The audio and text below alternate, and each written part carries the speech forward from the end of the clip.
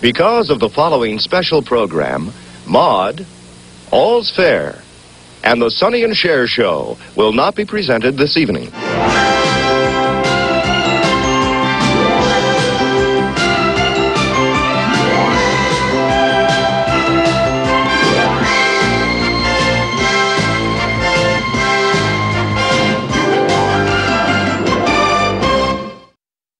Welcome to another episode of the following special presentation, the only series on this website that looks at the most hilariously cheesy TV movies ever made.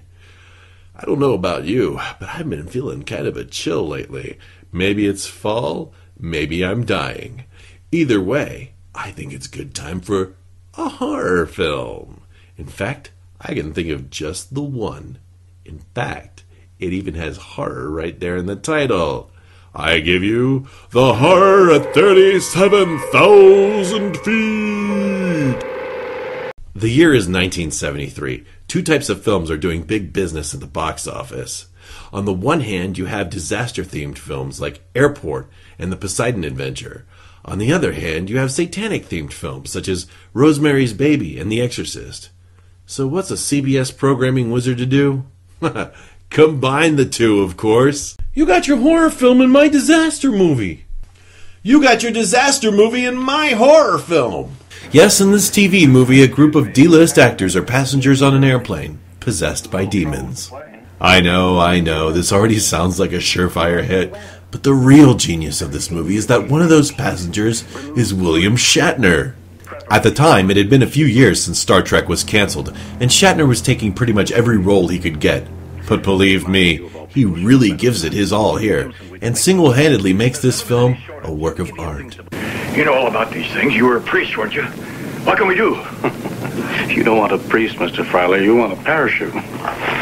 At the start of the film, a plane is departing from London's Heathrow Airport carrying our cast of cliches, I mean, characters.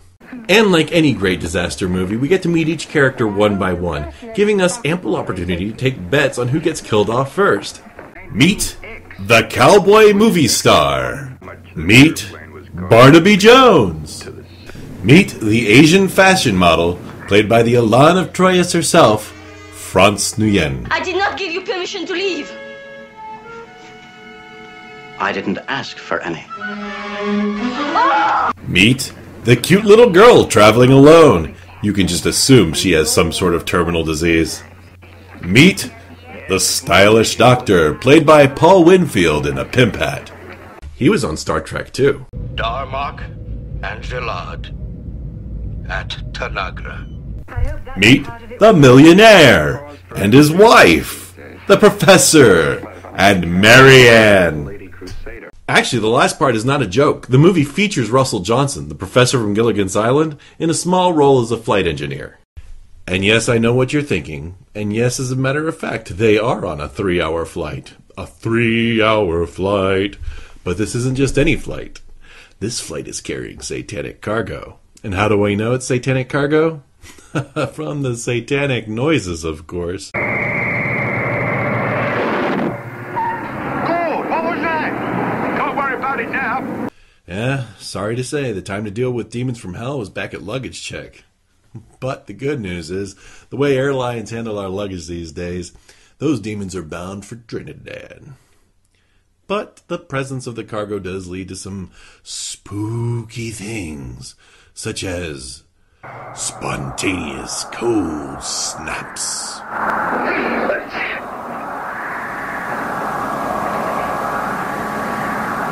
What happened? I don't know. Don't worry, there's a reasonable explanation for why those guys just saw ice magically appear on the cockpit window. You see, back in those days, it was okay for the pilots to get a little drunk before the flight. Damn, FAA ruins everything. Eventually, we meet a passenger who's going to be the highlight of this movie William Shatner. Here he plays Gene Hackman playing a disillusioned priest in the Poseidon Adventure. And clearly, there's only one thing a disillusioned priest is dying to do once he gets out of the frock get completely stinking drunk. But in Shatner's case, it's understandable given he's stuck traveling with a female companion who busts out the guitar on long flights. You know, this sounds a little off. Naturally. Closer to heaven, the more discordant. Jeez, oh, I think somebody's bitter. Come on, Bill, don't be a savior hater. Eventually, we learn the satanic cargo is actually an altar taken from an ancient abbey and is being flown from England to New York by Mr. and Mrs. O'Neill, our obligatory bickering couple. You know, I think maybe I'm going to put some black stone on the floor here around the altar. Very nice if you're planning to use it for a bar. That's a little nasty, isn't it, dear? There's also some crazy British lady named Mrs. Pinder who's on the flight only to harass the O'Neills. Mrs. O'Neill, I cannot believe that you would acquiesce in the uprooting of these priceless relics. Please, leave me out of it. That's right, she's following them all the way to America simply because she believes removing the Abbey from England is pure sacrilege. Sacrilege. Sacrilege. Uh, yeah, that's what I just said. So I believe the obvious conclusion that we can all draw here is that the Abbey is possessed by demons. You really don't know what's down in that hole, do you? To be honest, no, but I'm hoping it's more of those little bags of peanuts because this is a long flight and I'm starving. And so, while hubby's off having a drink and flirting with France Nuyen in the first class lounge, the wife starts to get a sense that strange things are afoot, mostly when she hears horrifying noises in her headphones. That's right, it appears the demons from the Abbey have somehow worked their way into the airplane's Muzak system.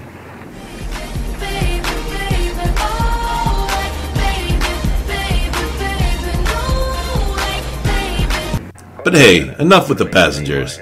Let's meet the pilot, played by Chuck Connors, the manliest man to ever manly his man on TV. I mean, come on, he was rifleman. The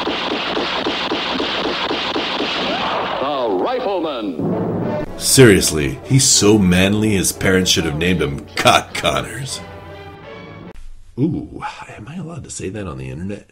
So Chuck discovers the plane is stuck in a mysterious headwind, so he turns the plane around, only to find out they're still stuck in a mysterious headwind. Cornwall Center. AOA 19 X-ray. Confirmed squawk setting at Alpha 2100. We have your blip 19er. The devil you doing up there flying in circles? Yeah, what the bloody hell you doing up there, you bollocks wankers?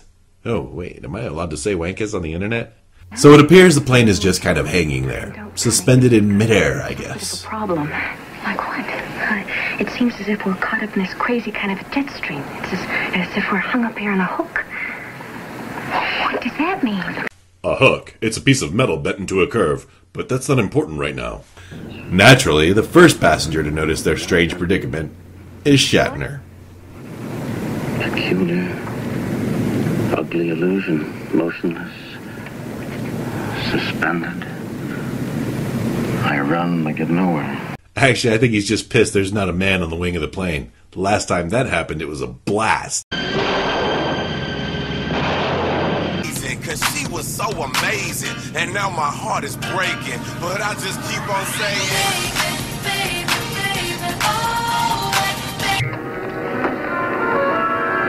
But we already know why all this is happening. There's something very evil in the cargo hold, and whatever it is, it wants out. Come on, what do you want? If you know a better way to ship illegals into the country, I'm all ears. Hey, all those kids aren't going to au pair themselves. At about the same time, Mrs. O'Neill has a little seizure, collapses on the ground, and starts speaking in tongues. This should be entertaining.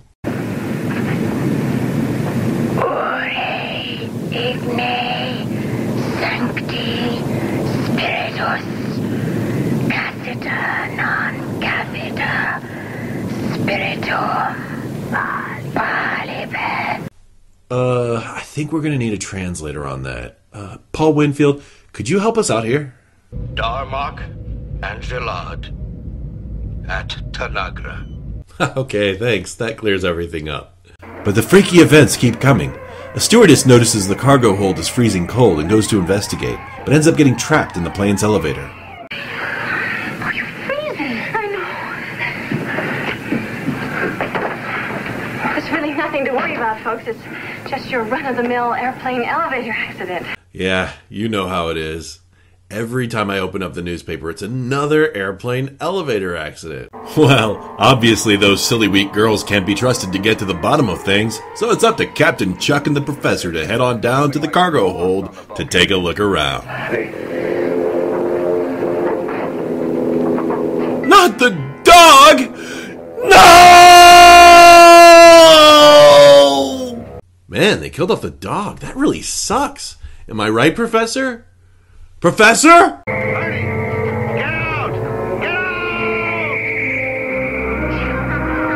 Not the professor! No! Bummer. And just as he was about to figure out a way off the island, too. What happened? Jim. He's dead. No, no. I'm sorry, the actual line is, he's dead, Jim. Now, let's hear you do some spot quotes. Please don't mention anything that's happened. We must avoid a panic.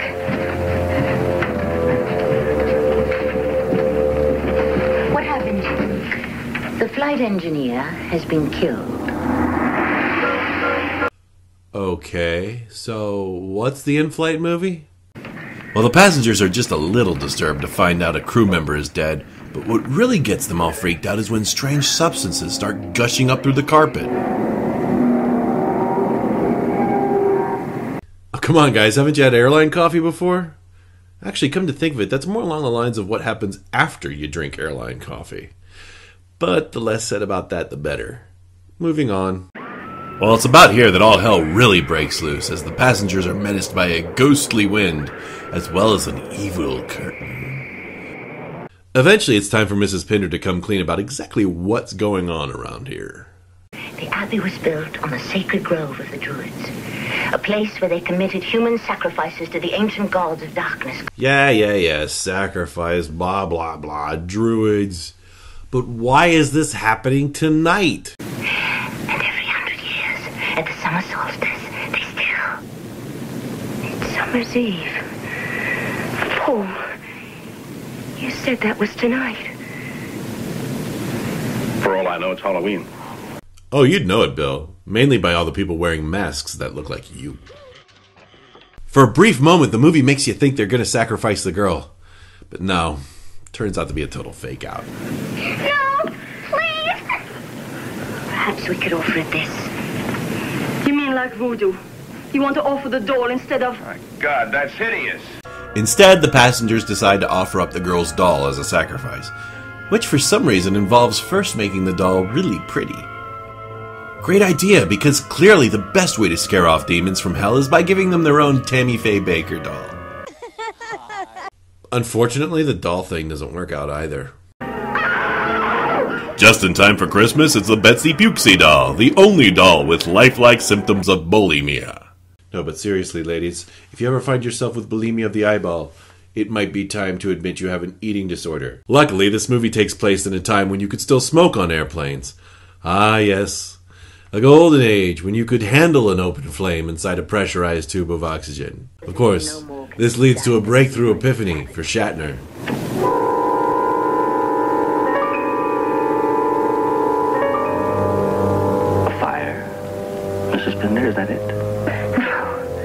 Actually, Bill, I believe she just caught a whiff of your cologne. Or perhaps the glue that's holding down your hairpiece. Strong stuff. Yes, a fire. A fire for the burning of witches. So the passengers decide that the best way to drive the demons away is to build a bonfire right in the middle of coach. Sounds like a great idea to me. Actually, this isn't a scene from the movie. It's real footage of what happens after a plane sits on the runway for 12 hours waiting to be cleared for takeoff. I mean, come on! Where were you people when that guy from Nigeria was trying to set his underwear on fire? Screw you, Jonas Brothers! I'm totally over you and your stupid coloring books! And that's when all hell really breaks loose, with white guys grappling in the aisle, Shatner fighting with an eight year old girl, dogs and cats living together, mass hysteria! But eventually the passengers put their differences behind them and decide the best way to defeat the demons is to wait until sunrise. I asked you, when is the sunrise? 342 out here. I wouldn't count on seeing it. Well, maybe we could climb to meet it. Catch it early as it comes over the rim of the world. Now, what is this rim of the world jazz? We climb, we burn more fuel. Coincidentally, Rim of the World Jazz was the name of an ensemble I was in back in high school. we totally rocked the Dave Brubeck. They wait for sunrise, but Shatner can't resist the sweet siren call of all that pure evil down in the cargo hold. So he goes down to personally investigate the haunted abbey. Basically, he digs around for a while until we get to the best moment of the movie. Or of any movie. In fact, why am I talking to you right now when you could be watching the best moment of the movie?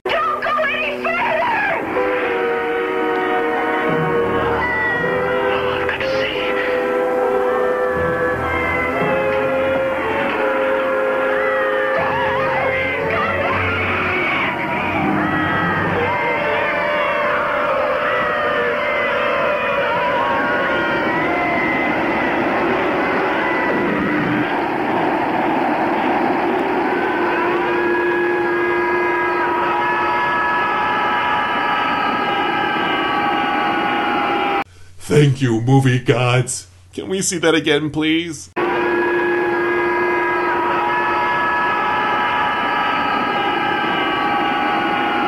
Well, there's actually some good news here because in the event of a water landing, Shatner's ego doubles as a flotation device. Immediately after this, the survivors finally see the sunrise, and just like that, the demons are gone. The plane lands, the end. No, seriously, the ending really is that abrupt. I guess they blew their load on Shatner falling out of the airplane and figured, well, nothing could possibly top that. And they were right. Despite some hilarious moments, The Horror at 37,000 Feet is overall a pretty forgettable TV movie.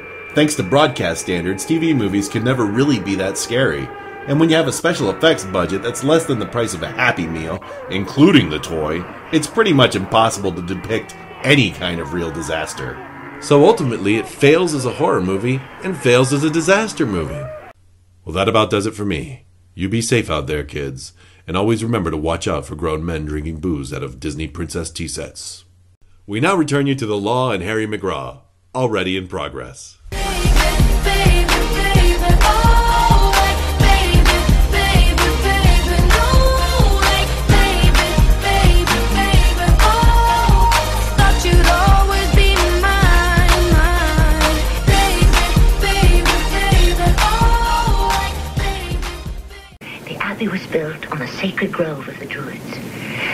Where they committed human sacrifices to the ancient gods of darkness. No one knows who they were or what they were doing.